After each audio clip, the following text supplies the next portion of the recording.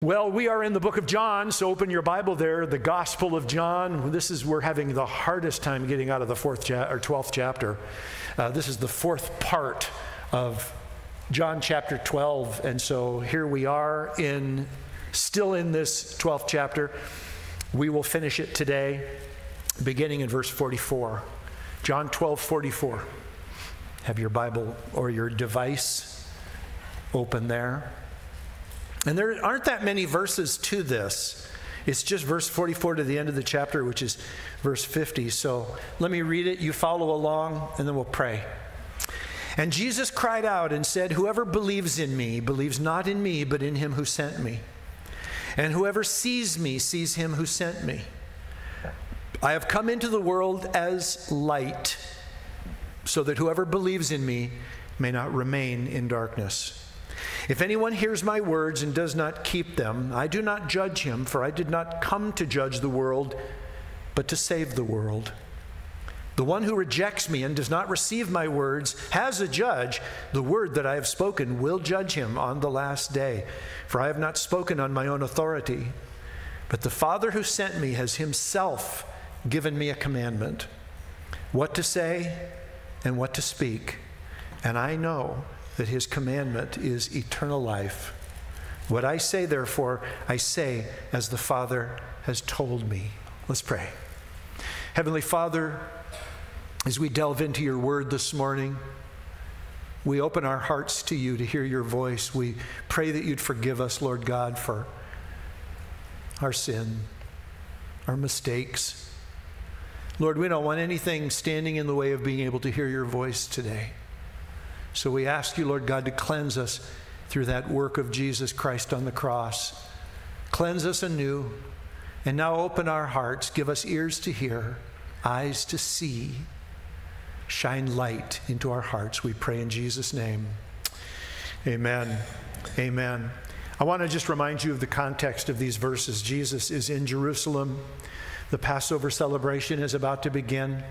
This is the last earthly Passover that Jesus will celebrate.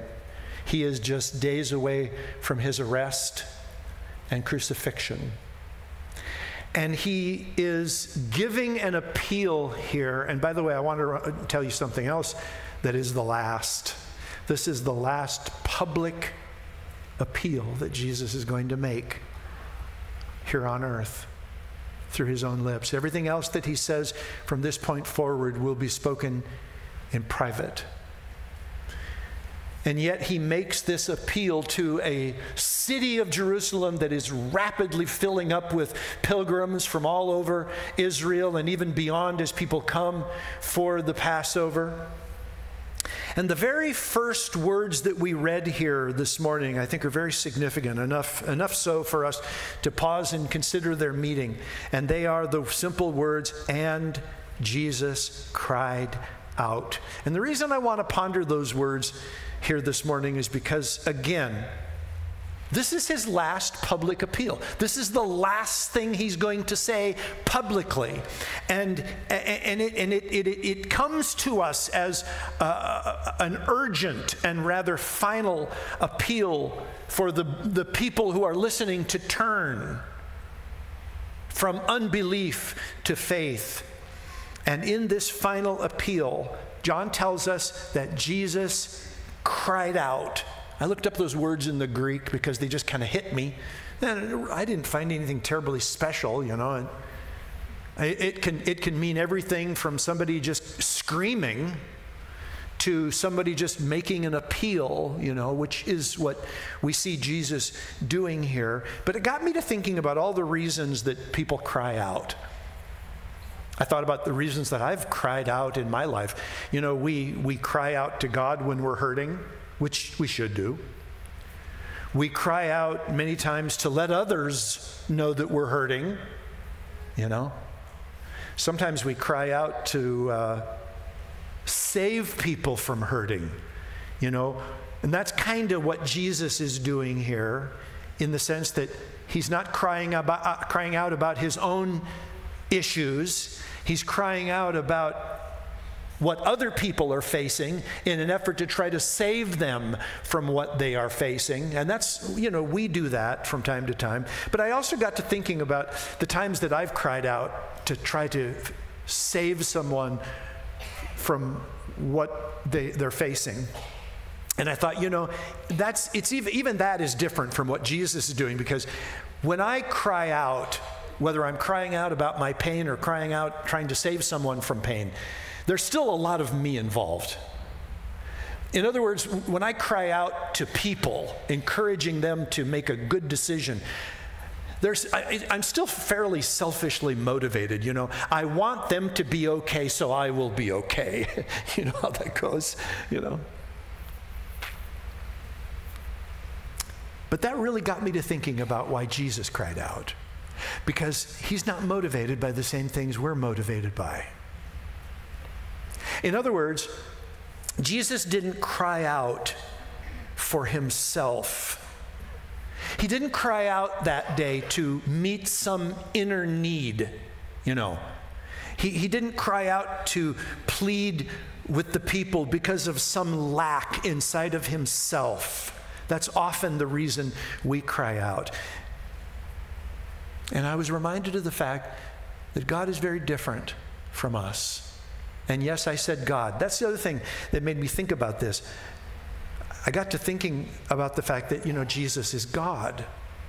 Hopefully, we've settled that here. We've gone through John enough to, we've seen over and over and over again how John has communicated to us that Jesus is God in human flesh. I mean, he started off from the very first verse and told us that. In the beginning was the Word, and the Word was with God, and the Word was God. He was with God in the beginning. And he just continued to repeat that throughout this gospel account. Jesus is God. Well, what that means is, when we hear Jesus saying something, we're hearing God saying something. When Jesus cries out, that's God crying out. And I think we can probably all agree that if God is crying out about something, it'd be best for us to listen.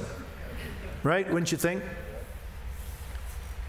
Because again, he doesn't ever, ever cry out because of anything he needs it's always outside of himself because God doesn't lack anything and God has no need.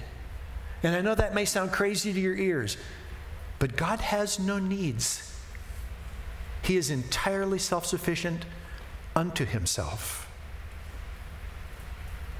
Let me show you a, a, wonderful quote by my favorite author, A.W. Tozer.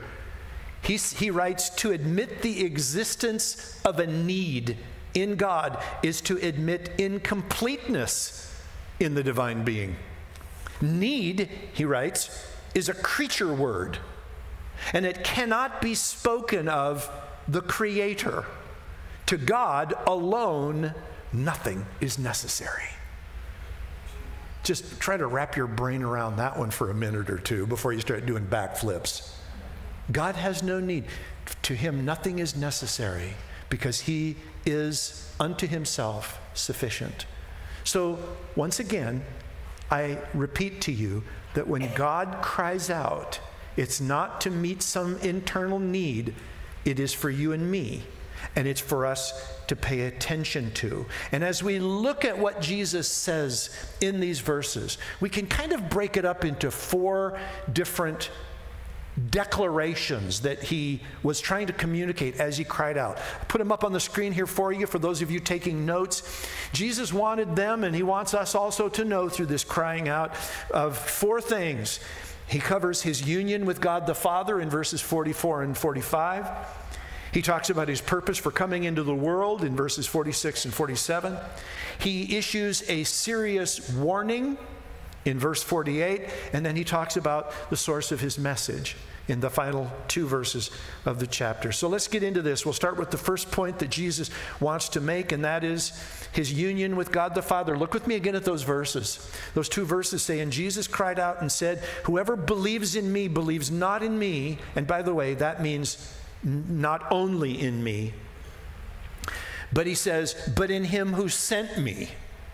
And whoever sees me sees him who sent me. And what Jesus is doing here is he is talking to us about the connection of faith between him and his Father that we are to express. And, and he's not discounting faith in himself when he says, Who believes not in me, but in him who sent me. Because, you know, in a couple of chapters, he's going to talk about faith in him. Let me show you this from John 14. This will be coming here in a few weeks.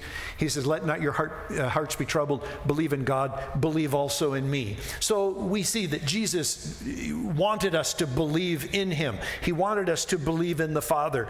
But what the, the point of what he's making here is that it's not a, a, a, a twofold faith or even a threefold faith. People, people struggle so much, I have learned, with the idea of the Trinity, the nature of God. People will write to me and say, So when I'm praying, who do I pray to? As if you can separate God from God. You guys know that there's only one God, right? There aren't two, three, four, ten, or 11. There's one God. So you start off your prayer and say, Dear Lord God, you've addressed all the persons of the Trinity. We, we fixate on these minute and really irrelevant, irrelevant details because God has revealed himself as one God in three persons, but not so that we would put him under a microscope and try to separate the persons in such a way as to divide them. And Jesus is communicating here. When you believe in me, you believe also in my Father. You do know that, right? It's not a twofold faith. We have faith in God, singular, right? It's not like I'm putting my faith in God, but I'm not sure about this Jesus guy. Or I believe in Jesus, but you know, God the Father kind of freaks me out sometimes. I'm not really sure about him. No, no, no. That's, and this is what Jesus is saying. John the apostle went on in his first letter to talk about this in even a slightly different way. Let me put this on the screen. 1 John 2 23. It says, No one who denies the Son, that's Jesus, has the Father. Whoever confesses the Son, this is the converse, uh, has the Father also. Now, so this is interesting. John says that if someone were to say, I don't, I don't believe in Jesus, I don't believe in Jesus as the Son of God, but I believe in God. John says, no. Uh uh-uh. uh Package deal. Package deal. Literally, no one who denies the Son has the Father. Now, those aren't my words, those are John's words, those are the authority of Scripture. No one who denies the, the, the Son has the Father. You cannot separate these persons uh, in, in, in the Godhead, you, and you can't have one without the other from that perspective. Um, the second point that Jesus is crying out to communicate to us uh, is highlighted on the screen there for you, and that is that his purpose for coming into the world is given here. He says in verse 46 and 47, I have come into the world as light. We're going to talk about that. You might underline that word or circle it in your Bible. So that whoever believes in me may not remain in darkness. We'll talk about what the word remain means in a moment, too. And then he says, If anyone hears my word and does not keep them, I do not judge him. And then he goes on to explain again a purpose for coming. He says, For I did not come to judge the world, but to save the world. And there's, you know, several actually recorded statements by Jesus in the Gospels about why he came. These are just two. But we do need to look at them. First, in verse 46, he says, I've come into the world as a light. We'll talk about the second one in verse 47 in just a moment. So, this first statement deals with light and darkness. I have come as light. And then he went on to make a statement about that light. He said, If you put your faith in that light, and, and that light, of course, comes from him, he, he says, that person will no longer remain in darkness, but will have, you know, will walk in the light. What does it mean when Jesus says, if you put your faith in me, if you believe in me, you'll no longer remain in darkness. What does that tell you? That tells you you started off in darkness, doesn't it? In other words, you began in darkness. We all start this life on earth in darkness. When does it change? When we put our faith in Jesus Christ. And then Jesus says, You no longer have the need to remain in darkness any longer. Right? because I have brought you into the light. And today we are watching as our culture walks in darkness, aren't we? Do you find it difficult to watch? I do. I not only find it difficult to watch, I find it very difficult to endure the public celebration of people walking in darkness. That's very challenging, very, very challenging. Because what people are doing is they're stumbling in the dark. You guys know what that's all about, right? Have you ever gotten up in the middle of the night and gone, gone into another room and forgot that you put a chair or something in, in your path and down you go? Yikes. Can be a, a painful sort of a deal. Um, what happens when you turn the light on?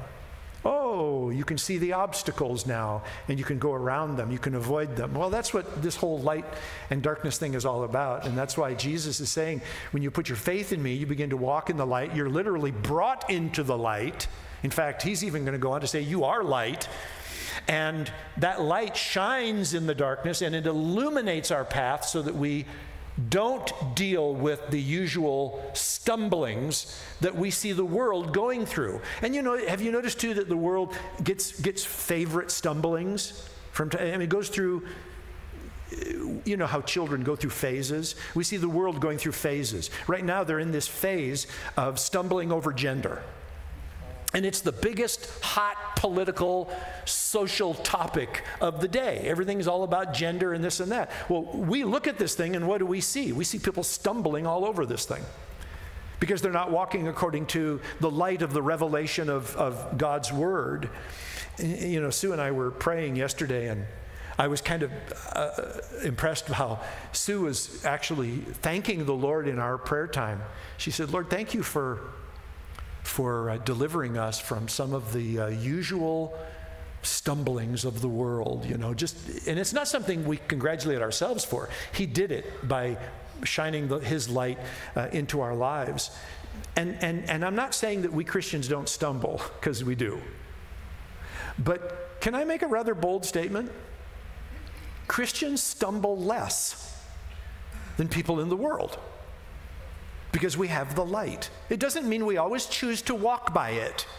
It doesn't mean we always choose to turn it on and, and, and abide in it, but it's there. And it's not our, it's not God's fault if we stumble, right? He's made that light you know, possible for us. That's what he has done in us. And, and there's so many passages in the Bible that speak of the purpose uh, of light and, and so forth. Let me share just a few with you. On the screen from Psalm 119, I love this. The unfolding of your words gives light, and that imparts understanding to the simple. And by the way, that's me. I'm the simple.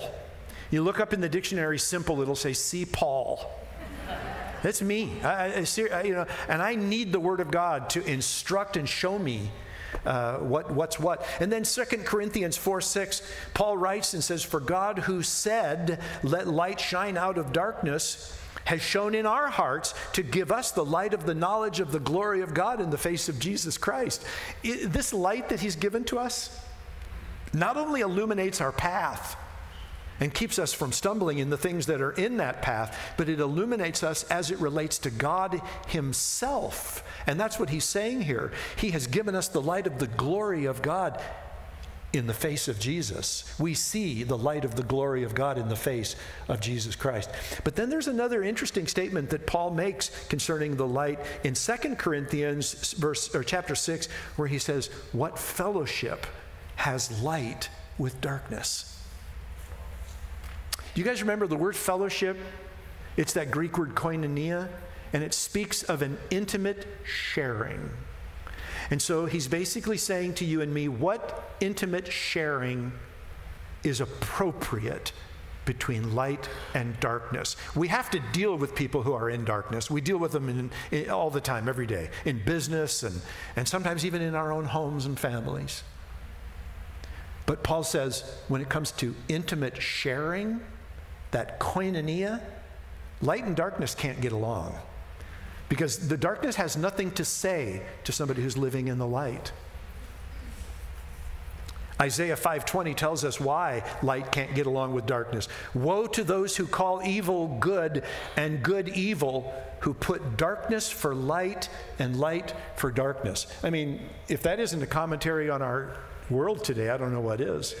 And and God pronounces a woe to the world that says that's light when it is in fact darkness, and that is darkness when it is in fact light.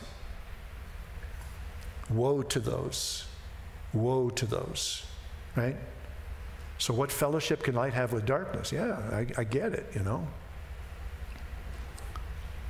Ephesians 5 8 says, At one time you were darkness, but now you are light in the Lord.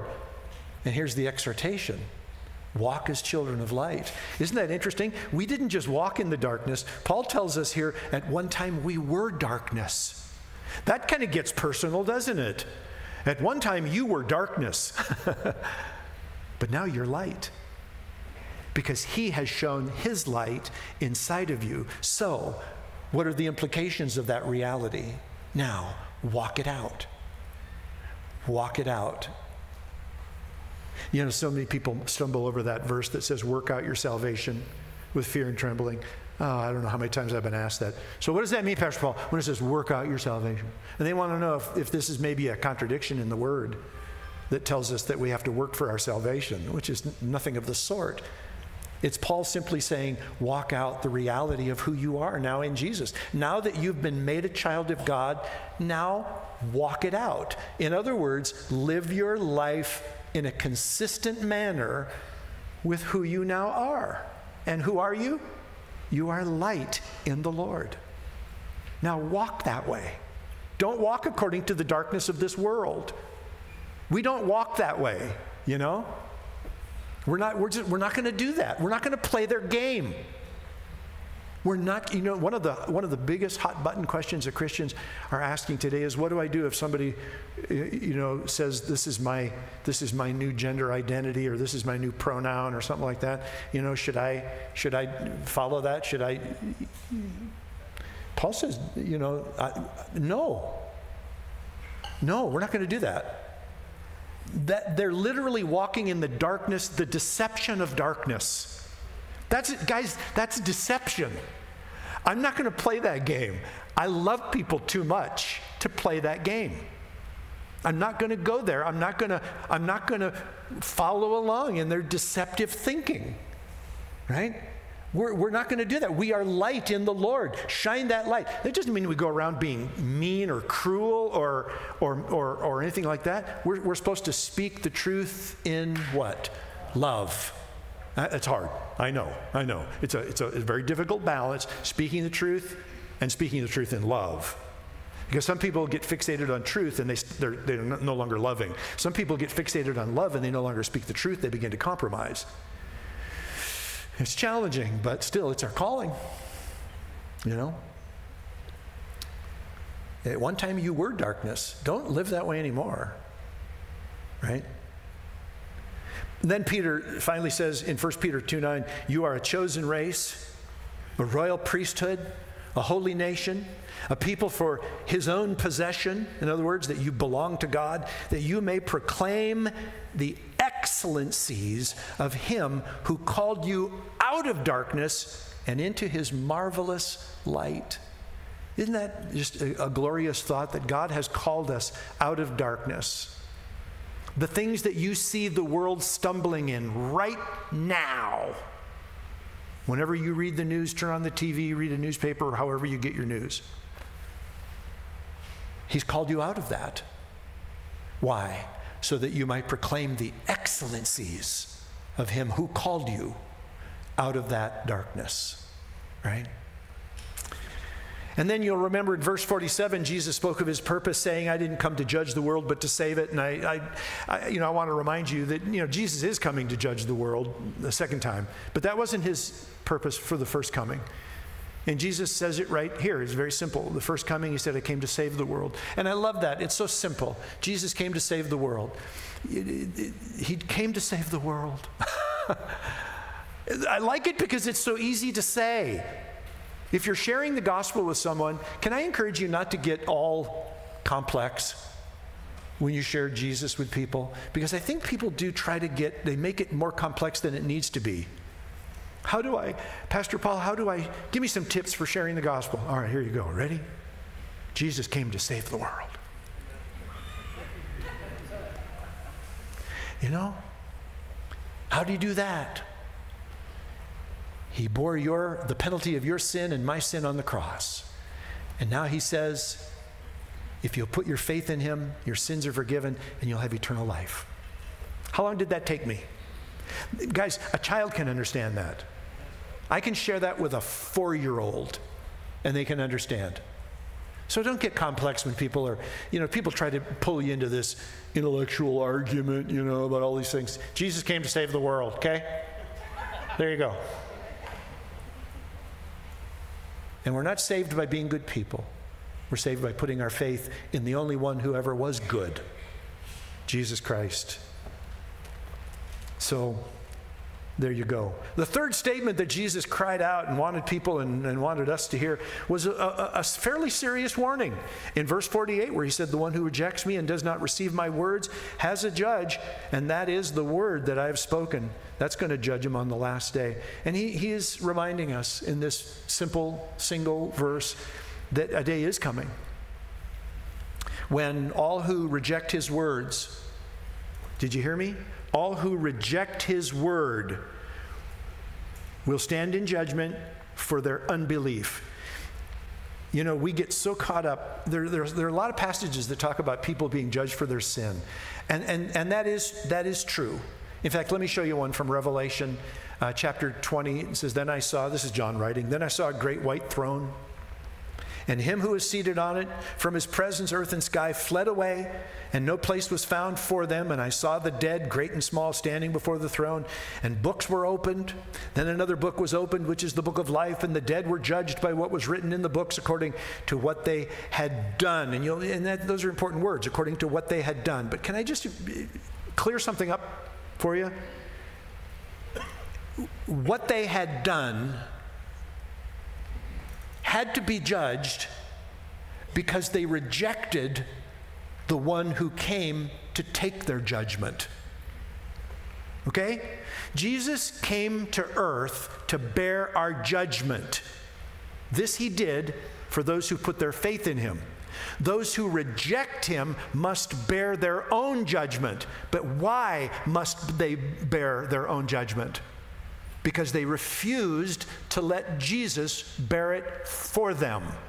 He made a, an offer that was free, and they said, No, thank you.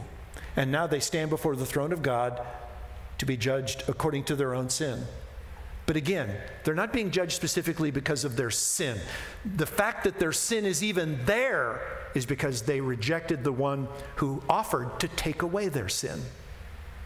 And so that ultimately, people are being judged for their unbelief. Do you get that? It comes down to faith or unbelief. It doesn't come down to specific sins, like if you do this, you're going to hell. Doesn't matter what you believe or who you are or whatever. If you do this sin right here, you're going to no, no, no, no, no, no, no. People, people go to hell because they reject Jesus. They, they, but through unbelief, they say, I don't accept, I don't believe, I reject what Jesus did on the cross. And so for them, there's no other option. They have to stand before God for their sin because they refuse to let the Son of God stand in their place. I hope and pray everybody here and within the sound of my voice has invited Jesus to stand in your place for your sin because that means for you, there will be no judgment of sins on that day because Jesus already bore it for you. It's, it's done, it's finished. And I, I, I, I hope that that's, you know, but this is but this is the warning that Jesus is giving, you know, in this in this passage. And then finally, the fourth thing that he cried out saying had to do with the source of his message in verses 49 and 50. And he said, For I've not spoken on my own authority. Can I just stop right there for a moment and say that that really messes with people's minds? And, and I'll talk about that here in just a moment, okay? It, what it does is it causes, it causes people to question whether Jesus is really God. Because he, he keeps saying things like, I'm not speaking on my authority, I'm speaking on my Father's authority. So people, they, they say to me quite often, So if Jesus is God, then why didn't he speak on his own authority? Why did he have to only speak on the Father's authority? I'll explain it in just a moment. But he goes on here and he says, But the Father who sent me has given him has himself given me a commandment. In other words, a message. He says, what to say and what to speak. That's the message. And he says, and I know that his commandment, or if you will, his message, is eternal life, or it gives eternal life. And he says, What I say, therefore, I say as the Father has told me. And what Jesus is doing here, and this is just another one of those statements where Jesus is speaking to the people and he is stressing his submission to God the Father. And he's saying, This is the simple point of what he's saying. Our message is one. Now you might think, well, is that all that important? Well, you remember, he's talking to Jews. And when he refers to his father, he's referring to the one whom they call Yahweh, the God of Abraham, Isaac, and Jacob, who they claim to worship. And he is saying concerning Yahweh, my message and Yahweh's message are one and the same. Okay? Well, that was a very important statement to make for the Jews. But I want to I want to close by addressing this issue of Jesus speaking by the authority of the Father. What does that mean exactly? When Jesus says, I don't speak on my own authority, I speak by the authority of my Father. It is a very common mistake of people to make to read something like that and assume that this somehow does, is not in keeping with our belief in the deity of Jesus Christ. In other words, that God is, or that Jesus is equal to the Father. And again, people will, will ask on a fairly regular basis about this. Why didn't he speak on his own authority? And what they fail to understand is that Jesus chose to come to earth willingly submitting himself to his Father. But you see, even, even when I use the word submit, that messes with people's minds. They'll say, Jesus submitted to the Father? Well, he must not be God then. And what they do is they make an error in believing that somehow submission is equal to inferiority. Women make this mistake all the time when they go through Ephesians chapter 5 and they read that women or wives are to submit to their husbands in everything and, and, and particularly unbelieving women and even men look at that verse in the Bible and they say, well, that is just ridiculous. That, that just simply underscores that, that ancient belief that women were inferior to men. And it says nothing of the sort. Jesus submitted himself to his Father, even though he was, as Paul said and is, in very nature God. Remember that in Philippians chapter 2? Being in very nature God, he humbled himself, taking the nature of a servant, the form of a servant, being made in human likeness.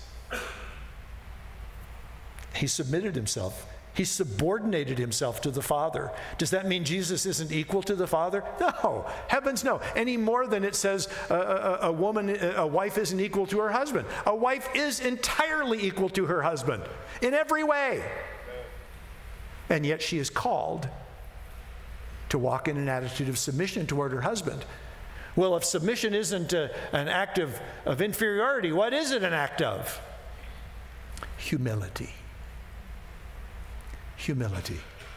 And Jesus humbly submitted himself to his Father. Jesus said, I am humble in heart. And that's why he was able to do that, and why he was able to say, I speak not on my authority, I speak on the authority of my Father who sent me. Doesn't mean he's not God, just means he's submitted and humble. But yet the Bible clearly tells us he is also equal to the Father. Amen? Amen. Let's stand together.